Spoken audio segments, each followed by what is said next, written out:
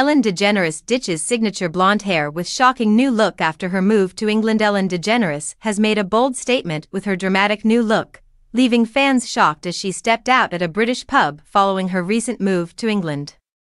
The beloved comedian and former TV host, known for her signature blonde pixie cut, surprised everyone when she was spotted with a completely different hairstyle.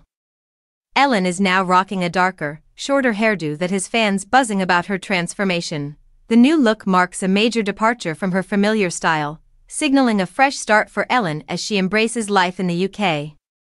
The sighting comes shortly after her move to England, where she and her wife, Portia de Rossi, have settled into a countryside home.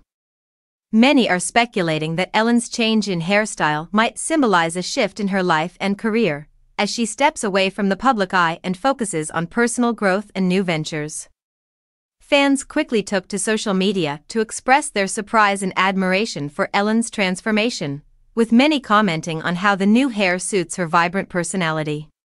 The change has sparked conversations about her future and what this new chapter in her life might bring. Ellen's hair makeover, paired with her move to England, shows that she's not afraid to embrace change and make bold decisions. It's clear that Ellen is ready to embrace this exciting new chapter with a fresh outlook and a whole new look to match.